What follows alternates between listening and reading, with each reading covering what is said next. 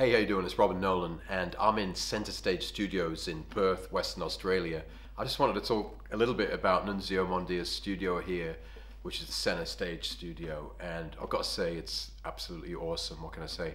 There's so many different sides and so many different layers to this whole experience in this room.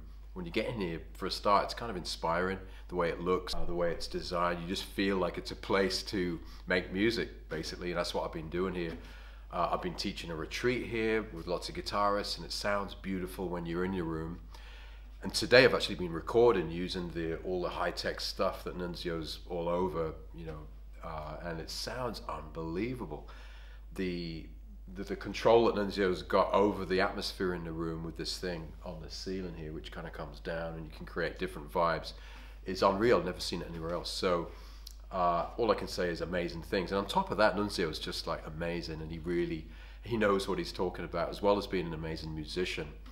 He's a great sound engineer, and he really understands the equipment and how to get the best out of instruments. So, um, only beautiful, positive things to say about Centrestage Studios.